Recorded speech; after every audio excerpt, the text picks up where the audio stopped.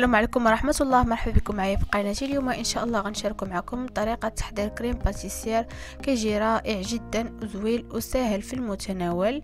بقاو معايا باش تشوفوا جميع خطوات باش كنحضروه وأسرار نجاحه وكيجي ناجح مليون بالمئة. أنا متأكدة إلا جربتوه غادي ينجح معكم وما تنساوش الضغط على زر لايك والاشتراك بالقناة. تفعيل ميزة الجرس تخليو شي تعليق باش تشجعوني وتدعموني يوصلكم دائما الجديد ودابا غادي نشوفوا المقادير مع طريقة التحضير عندي نصف لتر حليب ومية وعشرين غرام ديال سكر سنيدة وجوج بيضات كاملين وثمانين غرام بودرة الحلويات وجوج فاني وأربعين غرام زبدة.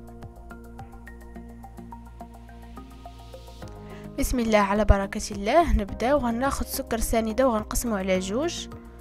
نصف الكمية غنضيفها في الحليب والنصف الآخر غنضيفو في شي إناء ونخليه على جنب. ونحرك مزيان الحليب بهذه الطريقة.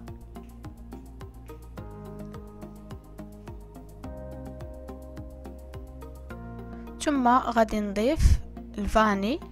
نضيف واحد على سكر سنيدة في الإناء. والفاني الآخر غنضيفه في الحليب ونحرك. وغنوضع الحليب ديالي على النار. ونخليه فوق النار.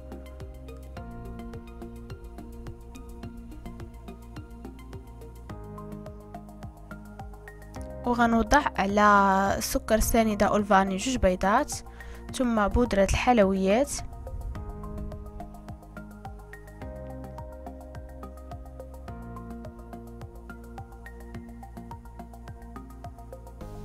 ونخلط مزيان هاد المكونات مع بعضهم حتى ينسجموا حتى نحصل على خليط متجانس. نبقى نخلط.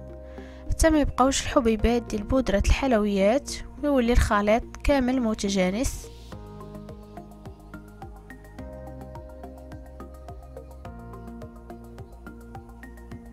أما بالنسبة للحليب غنخليه يطيب فوق النار حتى يفيض حتى يتم جاي طالع ديك الساعة حيديه من فوق النار حتى يفيض مزيان يبان لك جاي طالع صافي حيديه. كما كتشوفوا هذا هو الشكل للحليب بعد ما طلع ودابا غادي ناخذ الحليب وغادي نبدأ نضيف بالتدريج في الخليط اللي خلطت نضيف بالتدريج ونحرك بسرعة باش البيض ما يطيبش. بسرعة بسرعة حركه باش البيض ما يطيبش. نبدأ نضيف الحليب غير بالتدريج بهذه الطريقة ونحرك. كيجي ساهل ورائع وناجح غير جربوه هاد الكريم راه غادي ينجح معكم إن شاء الله. جربوه بنفس الطريقة غادي ينجح معكم أنا متأكدة.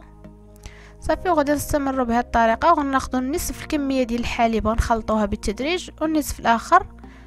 بقاو معايا باش تشوفوا كيفاش غادي ندير.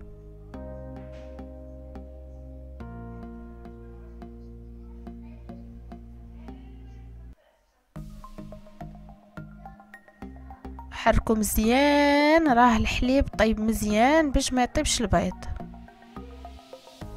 ودابا غادي ناخذ الخليط اللي خلطنا. وغادي نضيفوه على الحليب. كيف ما كتشوفوا بهذه الطريقة غنضيفوه على الحليب من ثم نوضعوه نحركوه ونوضعوه فوق النار. ونبقى نحرك من حيدش يدي بالتحراك بقى يتحرك يتحركي حتى تحصليه على خليط. يكون عاقد بقاي معايا باش تشوفوا جميع المراحل كيف ما كتشوفوا هالخليط ديالي ولا عاقد. مع التحريك ما تنساوش بقاو تحركوا. دابا حصلنا على كريمة وغادي نضيفوا ليها الزبدة 40 غرام. نضيفوا الزبدة من يكون الخليط باقي سخون باش الزبدة تذوب. ونستمروا بالتحريك بهذه الطريقة.